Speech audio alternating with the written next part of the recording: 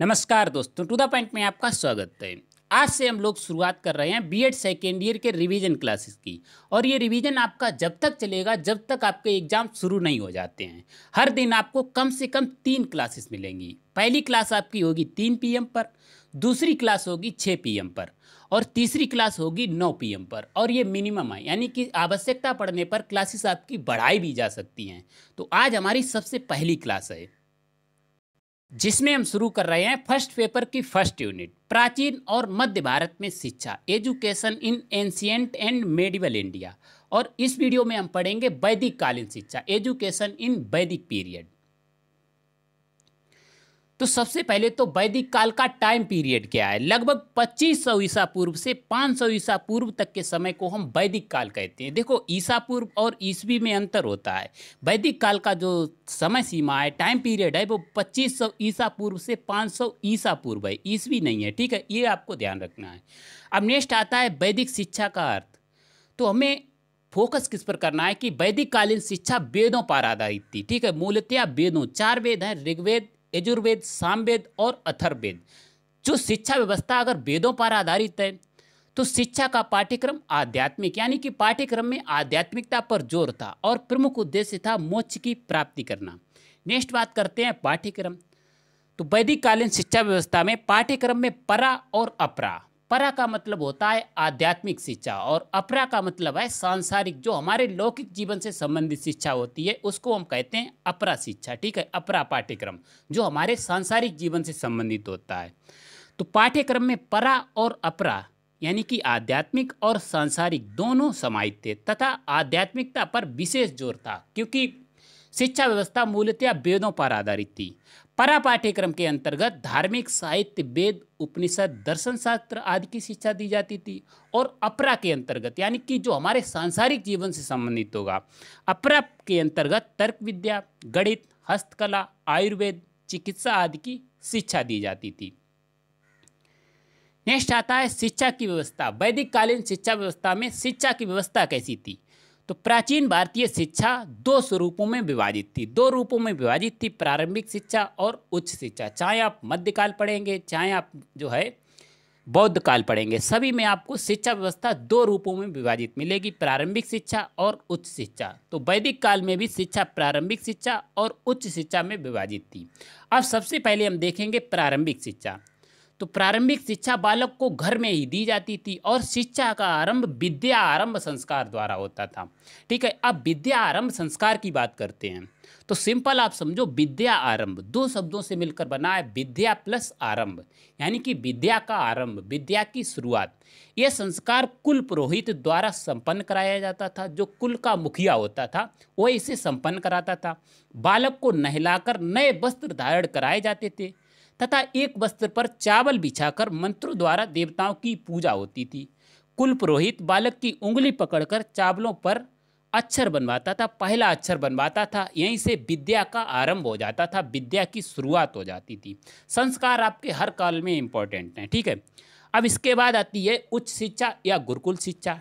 क्योंकि बालक ने प्रारंभिक शिक्षा ले ली, इसके बाद बालक को मिलेगी उच्च शिक्षा, या इसको हम गुरुकुल शिक्षा भी कहते हैं, क्योंकि उच्च शिक्षा वैदिक काल में गुरुकुलों में दी जाती थी। तो गुरुकुल गुरुकुल का सामान्य अर्थ होता है गुरु का कुल। कुल का मतलब होता है परिवार, यानी कि गुरु का परिवार। सामान्यतया गुरुकुल बस्तियों से दूर उपवनों में, जहाँ की वातावरण, प्राकृतिक वातावरण में, जहाँ की जलवायु स्वच्छ हुआ करते थे। और गुरुकुलों पर गुरुओं का पूरा नियंत्रण था। ठीक है? गुरु के सानिध्य में ही गुरुकुल चलते थे।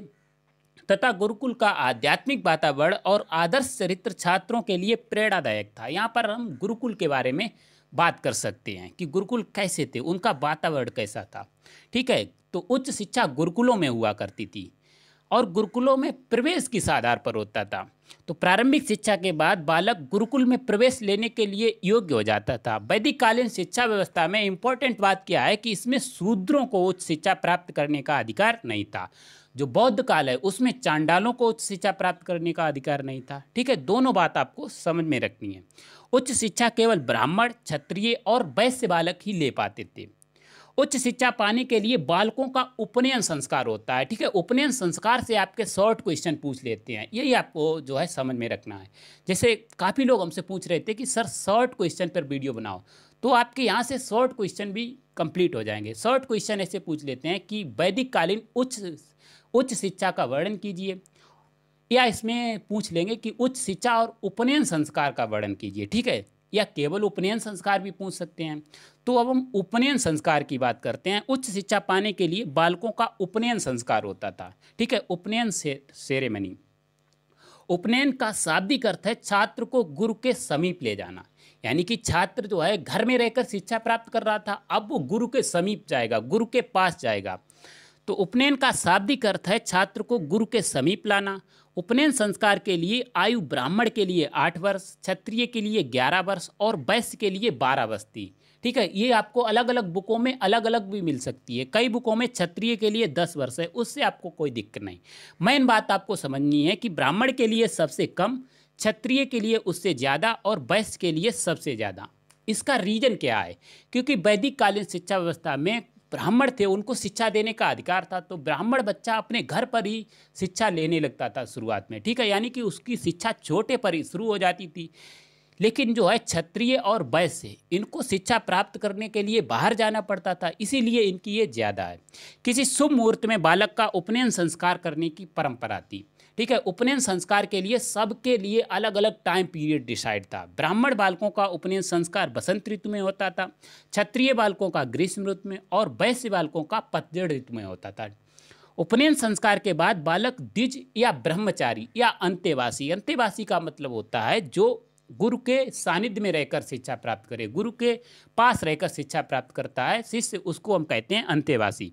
तो उपनयन संस्कार के बाद बालक द्विज ब्रह्मचारी, अंत्यवासी अथवा आचार्य या कुलवासी कहलाता था। इसके बाद आता है समावर्तन संस्कार। ठीक है, अब बालक ने प्रारंभिक शिक्षा ले ली, उच्च शिक्षा ले ली। इसके बाद उसकी शिक्षा की समाप्ति होगी। शिक्षा की समाप्ति से पहले समावर्तन संस्कार होता था। तो समावर्तन का शाब्दिक अर्थ है घर लौटना। शिक्षा प्राप्ति के बाद बालक घर लौटता था। अर्थात शिक्षा समाप्ति के बाद ग्रस्त जीवन में प्रवेश करना। समावर्तन संस्कार की आयु लगभग चौबीस वर्ष थी। अब इसके बाद गुरु शिष्य संबंध। ठीक है, हर काल में आपके गुरु शिष्य संबंध इंपॉर्टेंट है, इससे भी आपका शॉर्ट क्वेश्चन बनता है। तो गुरु शिष्य संबंध कैसे थे? वैदिक कालीन शिक्षा व्यवस्था में। वैदिक कालीन शिक्षा व्यवस्था में गुरु शिष्य संबंध मधुर थे। गुरु अपने शिष्यों को मानस पुत्र यानी कि अपने पुत्र जैसा मानते थे, और शिष्य भी अपने गुरुओं को मानस पिता, अपने पिता के समान मानते थे। अब इसको हम दो हेडिंग्स में डिवाइड करके कि गुरु के शिष्यों के प्रति क्या कर्तव्य थे, और शिष्यों के गुरुओं के प्रति क्या कर्तव्य थे। तो सबसे पहले देखते हैं गुरु के शिष्यों के प्रति दायित्व। गुरु के शिष्यों के प्रति क्या कर्तव्य थे? पहला है गुरु के भोजन, उपवास, वस्त्र इत्यादि की व्यवस्था करना। ठीक है, शिष्यों के भोजन, आवास, वस्त्र इत्यादि की व्यवस्था करना। अब शिष्य गुरु के सानिध्य में शिक्षा प्राप्त कर रहा है, गुरु के पास रहकर। तो गुरु का दायित्व है कि उसके भोजन, आवास, वस्त्र इत्यादि की व्यवस्था करना। शिष्यों की स्वास्थ्य की देखभाल करना। अगर वो अस्वस्थ होता है तो उसके उपचार की व्यवस्था करना। ठीक है? ये गुरुओं का दायित्व था। शिष्यों के चरित्र निर्माण का, शिष्यों का चरित्र निर्माण करना, ठीक है? उसका सर्वांगीण विकास करना, सब सब दायित्व था गुरु का ही।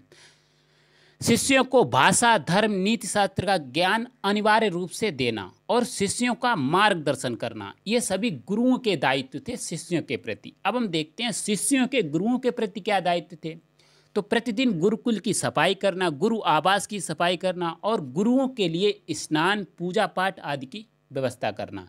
गुरुओं के आदेशों का पूरी कर्तव्य निष्ठा के साथ पालन करना, ये शिष्यों का कर्तव्य था, ठीक है? गुरु तथा गुरुकुल वासियों के लिए भिक्षा मांगना एवं भोजन की व्यवस्था करना, क्योंकि भोजन के लिए भिक्षा मांगना ज़रूरी था, ठीक है? भिक्षा मांगने पर ही गुरुकुल टिके थे, उन्हीं से उसका क्रियान्वयन होता था भिक्षा से ही।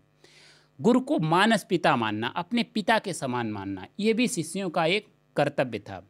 गुरु के आदेशों का पूर्ण निष्ठा के साथ पालन करना। अब इसके बाद छात्रों की श्रेणियाँ या उपाधियाँ।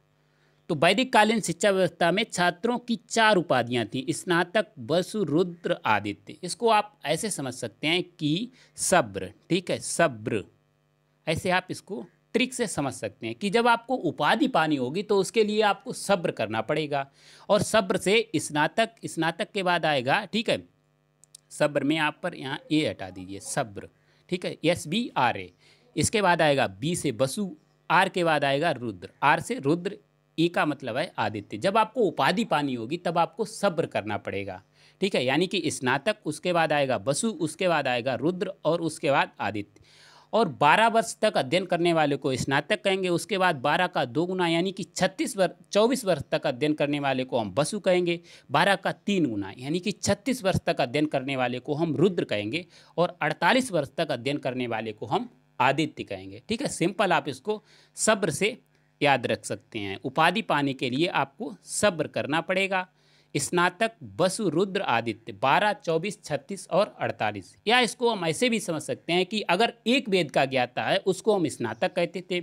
दो वेदों के ज्ञाता को बसु और तीन वेदों के ज्ञाता को रुद्र और चार वेदों के ज्ञाता को हम आदित्य कहते थे वैदिक कालीन शिक्षा व्यवस्था में। इसके बाद आती हैं शिक्षण विधियाँ। तो वैदिक कालीन शिक्षा व्यवस्था में शिक्षण विधियाँ थीं, वो मौखिक थीं, क्योंकि उस समय लिखने की विद्या प्रचलित नहीं थी। वैदिक काल में शिक्षण विधियाँ प्रायः मौखिक हुआ करती थीं और रटने पर ज़्यादा ज़ोर दिया जाता था। इसमें जो आपकी शिक्षण विधियाँ आ जाएँगी, प्रश्नोत्तर विधि, ठीक है? व्याख्या विधि, प्रवचन विधि, जो आपकी मौखिक शिक्षण विधियाँ हैं, वो सभी इसमें आ जाएँगी। मेन पॉइंट आपको समझना है कि शिक्षण विधियाँ मौखिक थी, क्योंकि लिखने की विद्या उस समय प्रचलित नहीं थी। रटंत प्रणाली, कंठस्थीकरण पर ज़्यादा ज़ोर था, ठीक है? बालक को गुरु जो है दूसरा चैप्टर जब भी शुरू करता था, जब उसको पहला वाला पूरी तरह से कंठस्थ हो जाता था, याद हो जाता था। कंठस्थीकरण रटने तथा शुद्ध आचरण पर विशेष ज़ोर दिया जाता था। अब इसके बाद वैदिक काल में स्त्री शिक्षा, ठीक है? इससे भी शॉर्ट क्वेश्चन बनता है कि स्त्री शिक्षा की विवेचना कीजिए, चाहे आपका वैदिक काल हो, चाहे बौद्ध काल हो, चाहे मुस्लिम काल हो। तो वैदिक काल में स्त्रियों को पुरुषों के समान शिक्षा प्राप्त करने का अधिकार था, ठीक है? कोई भी प्रतिबंध नहीं था स्त्रियों पर। प्राचीन ग्रंथों में अनेक विदुषी महिलाओं का वर्णन है, ठीक है? विद्वान की जगह पर क्या होगा? विदुषी, क्योंकि महिलाएँ जो है, विद्वान नहीं, विद्वान पुरुष होता है, महिलाएँ विदुषी होती हैं। तो प्राचीन ग्रंथों में अनेक विदुषी महिलाओं का वर्णन, जैसे कि उर्वशी, अपाला, गार्गी, गोसा आदि का मिलता है। बाद में क्या हुआ? जैसे जैसे हम बौद्ध काल और मुस्लिम काल की तरफ़ आए। बाद में बाल विवाह और और अन्य सामाजिक कुरुतियों के कारण स्त्री शिक्षा को प्रबल आघात पहुँचा। ठीक है, बुरी तरह से स्त्री शिक्षा प्रभावित हुई। लेकिन वैदिक कालीन शिक्षा व्यवस्था में स्त्री शिक्षा सबके लिए बराबर थी, कोई प्रतिबंध नहीं था। अब वैदिक कालीन शिक्षा व्यवस्था का सबसे लास्ट में मूल्यांकन। ठीक है इवेल्युएशन करते हैं। तो इवेल्युएशन में सबसे पहले तो हम देखेंगे गुड़ सबसे पहला गुड़ क्या है? अब जैसे आपका लॉन्ग में क्वेश्चन आ जाता है कि वैदिक कालीन शिक्षा व्यवस्था का मूल्यांकन कीजिए तो आपको ये जो पॉइंट्स हैं, वो आपको हेडिंग्स बनानी दी हैं कि सबसे पहले हम हेडिंग बनाएँगे शिक्षा की निःशुल्क व्यवस्था। और इसमें हम क्या कहेंगे कि वैदिक कालीन शिक्षा व्यवस्था पूर्णतया जो है निःशुल्क थी, यानी कि सभी के लिए इसमें कोई भी शुल्क नहीं लिया जाता था, चाहे वो किसी जाति, धर्म से बिलोंग करता हो। शिक्षा व्यवस्था जो है भिक्षा आदि पर निर्भर थी। तो वैदिक कालीन शिक्षा व्यवस्था पूर्णतया निशुल्क थी। नेक्स्ट है, व्यक्तित्व के विकास पर बल। यानी कि व्यक्तित्व के विकास पर बल दिया जाता था, ठीक है? बच्चे का सर्वांगीण विकास पर बल दिया जाता था, क्योंकि बच्चा गुरु के सानिध्य में रहता था, गुरु का कर्तव्य था कि उसका व्यक्तित्व का विकास किया जाए। नेक्स्ट है, चारित्रिक एवं नैतिक विकास पर बल। तो विद्या का जो है, शिक्षा का एक महत्वपूर्ण उद्देश्य होता है कि व्यक्ति का चारित्रिक विकास करना, नैतिक विकास करना। नेक्स्ट है आध्यात्मिकता पर विशेष महत्व। तो आध्यात्मिकता पर विशेष महत्व तो अच्छी बात है। अब देखो इंटेलिजेंसी किसमें है कि आपको यही पॉइंट हम गुणों में भी ले लेंगे और दोषों में भी ले लेंगे। जैसे हम आध्यात्मिकता को विशेष महत्व तो जब हम गुणों में कहते हैं, तब हम इसमें क्या लिखेंगे कि आध्यात्मिकता को विशेष महत्व तो देना अच्छी बात है, क्योंकि आध्यात्मिकता से हमें मन की शांति प्राप्त होती है और मन की शांति कौन नहीं प्राप्त करना चाहेगा? लेकिन जब हम दोषों में बात करते हैं, तब हम क्या कहते हैं कि आध्यात्मिकता पर विशेष महत्व देना अब व्यवहारिक है, क्योंकि जो हमारा प्रेजेंट युग है, वो आधुनिक युग है, ठीक है। तकनीकी युग है और तकनीकी युग में आध्यात्मिकता बिल्कुल अव्यवहारिक है, इसकी कोई ज़रूरत नहीं है। अगला गुण क्या है कि स्त्री शिक्षा को स्थान तो वैदिक कालीन शिक्षा व्यवस्था में स्त्री शिक्षा को स्थान दिया गया, ठीक है। ये हम गुणों में कह लेंगे, लेकिन हम दोषों में क्या कहेंगे कि स्त्री शिक्षा को स्थान तो था, लेकिन जब गुरुकुल ही इतने दूर दूर हैं तो स्त्रियों को शिक्षा आसानी से कैसे प्राप्त हो? क्योंकि ज़्यादातर उस समय भी स्त्रियाँ ज़्यादा दूर शिक्षा लेने नहीं जाती थी। गुरुकुल बहुत दूर दूर हुआ करते थे, जंगलों में हुआ करते थे, घर से बाहर उनको जाना पड़ता था। तो इसीलिए स्त्री शिक्षा पूरी तरह से बराबर नहीं थी, ठीक है? लेकिन दोषों में हम क्या कहते हैं कि स्त्री शिक्षा को स्थान दिया गया, ठीक है? बराबर थी।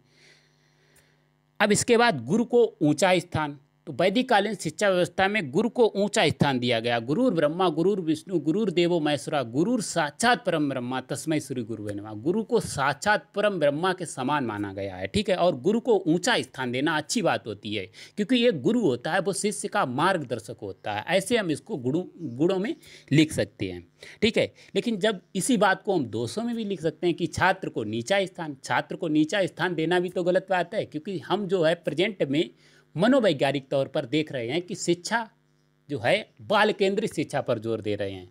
तो मनोवैज्ञानिक दृष्टिकोण से शिक्षा बाल केंद्रित होनी चाहिए, लेकिन इन्होंने क्या किया? गुरु को केंद्र में रखा, गुरु को ऊँचा स्थान दिया। ठीक है, एक ही बात को आपको कैसे गुणों में लिखना है, कैसे दोषों में लिखना है, ये बात आपको समझनी है।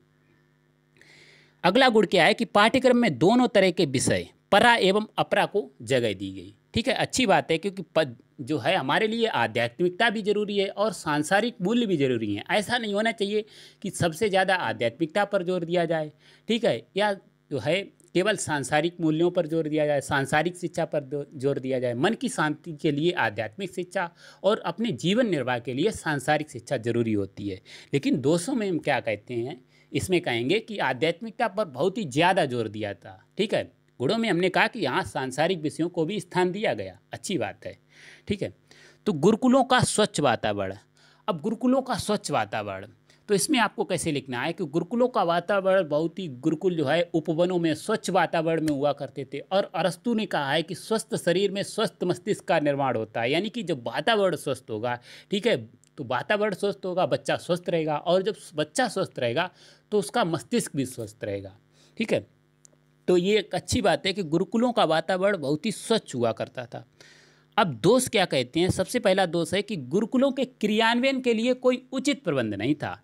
ठीक है, जैसे प्रेजेंट में हम देखते हैं कि शिक्षा व्यवस्था के लिए बाकायदा एक जो है, अलग से मंत्रालय बना है। ठीक है, कि शिक्षा शैक्षिक प्रक्रिया किस तरह से चलेगी, उसके लिए हर लेवल पर अधिकारी हैं, लेकिन उस समय ऐसा कुछ भी नहीं था। शिक्षा व्यवस्था जो है, भिक्षा पर आधारित थी। अब कभी भिक्षा नहीं मिली तो जो है गुरुकुलों के क्रियान्वयन के लिए कोई उचित प्रबंधन नहीं था। अगला दोष क्या है कि रटने पर विशेष बल था, जो करके सीखने की हम बात करते हैं, वैसा कोई जो है इस समय नहीं था। यानी कि करके सीखने पर ज़ोर नहीं दिया जाता था, रटने और कंठस्थीकरण पर ज़ोर दिया जाता था। इसके बाद आता है अत्यंत कठोर अनुशासन, ठीक है? तो वैदिक कालीन शिक्षा व्यवस्था में अनुशासन बहुत ही कठोर हुआ करते थे। अगर गुरु के आदेशों का कोई भी शिष्य पालन नहीं करता है तो उसको गुरुकुल से बाहर निकाल दिया जाता था। अगला दोष क्या है कि धार्मिक शिक्षा पर हद से ज़्यादा बल देना, ठीक है? तो हमने गुणों में बात की कि धार्मिक और सांसारिक दोनों तरह के विषयों को स्थान दिया गया। अच्छी बात है, लेकिन दोषों में हम क्या कहते हैं कि धार्मिक शिक्षा को हद से ज़्यादा बल दिया गया, जिससे क्या हुआ? बाद में कर्म कांडों को बढ़ावा मिला, जो कुरूतियाँ हैं, ठीक है, अंधविश्वास हैं, उनको बढ़ावा मिला। और इससे क्या हुआ? जो हमारी वैदिक कालीन शिक्षा व्यवस्था में भी कर्मकांड, जो बौद्ध कालीन शिक्षा है, उसमें भी कर्मकांडों को बढ़ावा मिला। और इसके बाद मुस्लिम काल के आक्रमणकारी आते हैं, ठीक है मतलब कर्म कांडों को जब बढ़ावा मिला तो आपकी जो वैदिक कालीन शिक्षा व्यवस्था है, वो पूरी तरह से समाप्त हो गई अंधविश्वासों की वजह से। अगला दोष क्या है कि सीमित शिक्षा। तो वैदिक कालीन सीमित स्त्री शिक्षा वैदिक काल में स्त्री शिक्षा सीमित थी, क्योंकि गुरुकुलों की संख्या बहुत ही कम थी, गुरुकुल बहुत दूर दूर हुआ करते थे, इसलिए सामान्यता कोई भी अपनी जो है बेटियों को इतनी दूर शिक्षा लेने के लिए लोग नहीं भेजते थे। नेक्स्ट है गुरुकुलों की अल्पसंख्या और घर से बहुत दूर होना। यही तो स्त्री शिक्षा, सीमित स्त्री शिक्षा की वजह थी कि गुरुकुलों की संख्या कम थी। अगला दोष क्या है कि लौकिक समस्याओं को भूलकर आध्यात्मिकता पर ज़ोर, ठीक है? आध्यात्मिकता पर हद से ज़्यादा ज़ोर दिया गया। जो हमारी सांसारिक समस्याएँ हैं, लौकिक समस्याएँ उनको इतना ज़्यादा ज़ोर नहीं दिया गया। ठीक है तो ये आपका वैदिक कालीन समाप्त होता है। नेक्स्ट वीडियो में हम देखेंगे बौद्ध काल आप जो भी पूछना चाहते हैं, वो आप कमेंट बॉक्स में पूछ सकते हैं, जिसको हम अगली वीडियो में कवर करने की कोशिश करेंगे आपकी बातों को, आपके विचारों को। ठीक है, मिलते हैं नेक्स्ट वीडियो में। तब तक के लिए गुड बाय।